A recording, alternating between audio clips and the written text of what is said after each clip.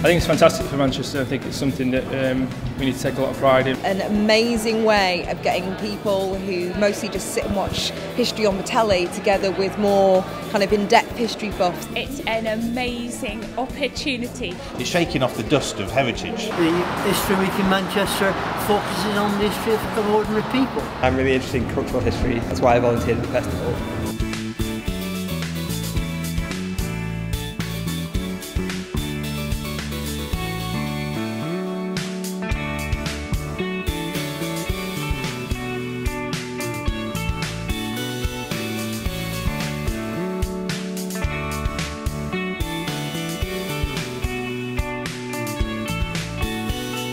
People come together and that's the important thing.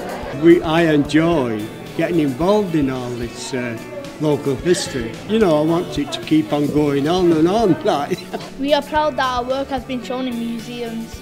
Where history sits within the community and how it can bring different generations together. How excited were you today to be a part of the Manchester History Festival?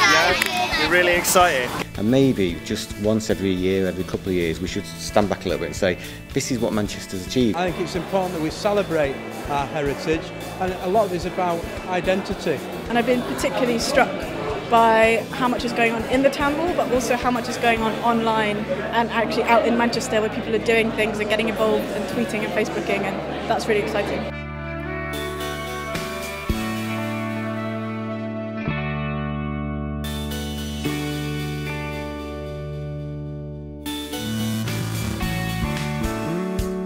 What we've been doing today is, is showing people the possibilities built on some of the good things that happened in the past that can inform our future. In Manchester it's hugely important because this is the industrial city. Today, for example, we launched five new fanzines on the back of that, all done by young people who have absorbed the history and are using that history to create the future, I guess. I just think it's absolutely wonderful. It's, it can only be ongoing.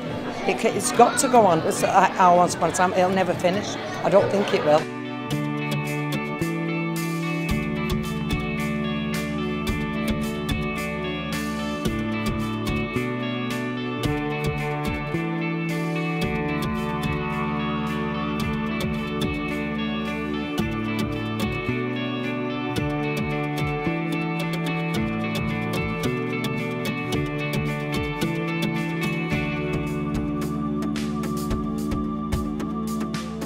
Lots of the projects and lots of the organisations here have had funding from us.